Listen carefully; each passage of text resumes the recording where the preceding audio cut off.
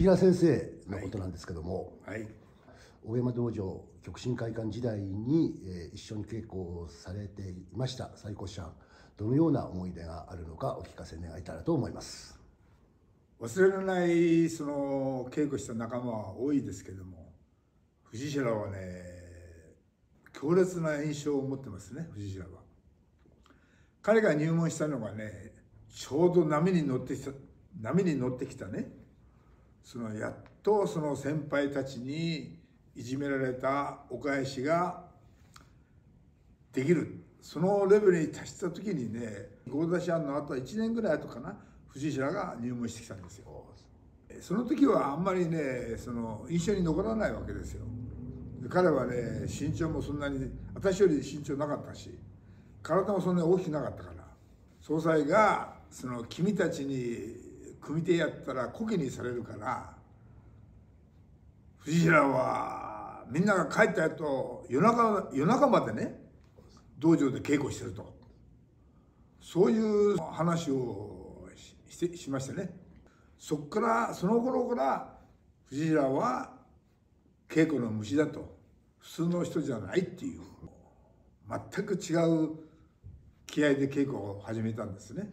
空手っていう、まあ、武道を志す人間はね第一に一番大切なのはね自分のね自分の体まず知らなきゃいけないんだよ。自分の能力とね自分の体どういう体してるのかっていうの。己を知ってそこから自分にそのチャレンジすると。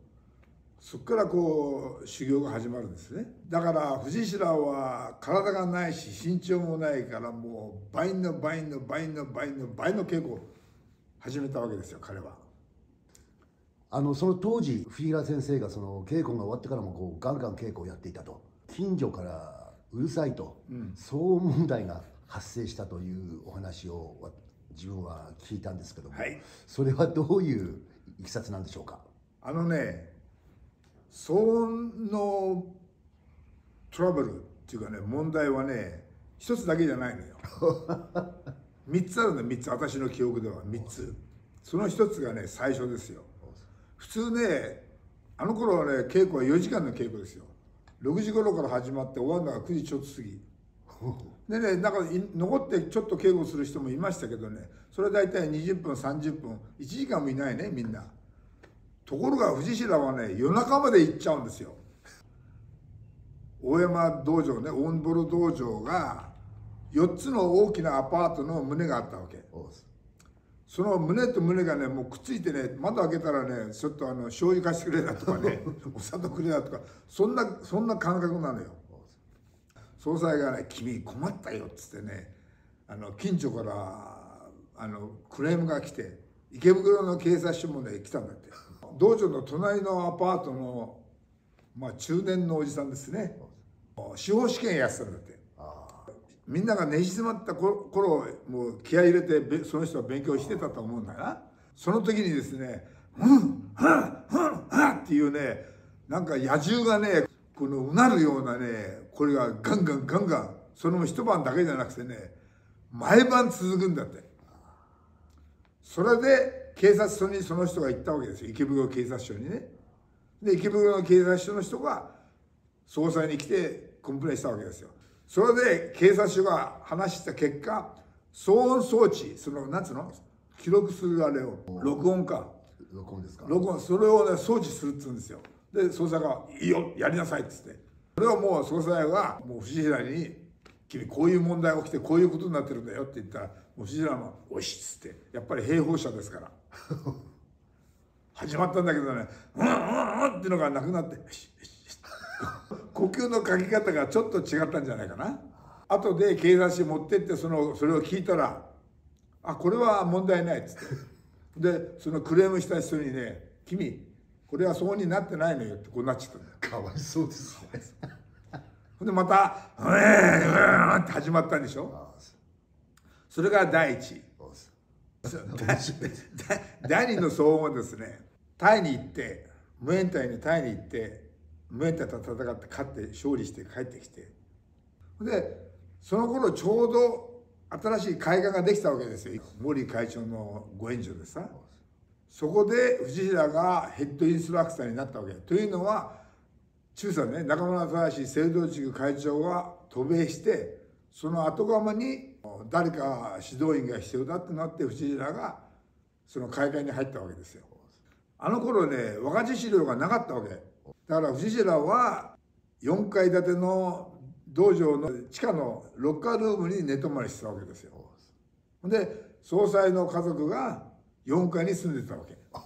そこでまた事件が起きたわけですよ。藤白はやっぱりね兵法者ですよ。彼は武道家ですよ。だからみんなが帰って会見の掃除を終わって食事終わってやっとこの静かになった頃ですね。結構始まっちゃったわけ藤白が地下で。そあの頃はねもう近代的なビルだけどもやっぱりねこう揺れるんだねちょっとね。揺れるっていうかさ。そうすると4階からダッダッダッダッダッと降りてき「君うるさいんだよ! 」今度は池袋警察署じゃなくてね牛殺しの大山正総裁ですよ。これにはね藤白ももう参りました。ってこう言わなきゃいけないでしょ？もう一つ付け加えられたのがね総裁が「君電電気代がもったいないんだよ」ってここまで言われちゃったのでね 藤白はもうもうどうしようもないですよ。それが第2番目。で第3番目も聞きたいですか？聞きたいです。これが最後だからねこれはもうずっと後になって藤代がキックの量をやめて大沢食堂っていうのを開いてたねちょうど彼が古希にね70になった時に引退したわけですよ大沢食堂引退してから時間があるじゃないですか。で体がもうムズムズするわけでしょ彼はね。古希の古希の男ですよあんた。体を動かしたいと。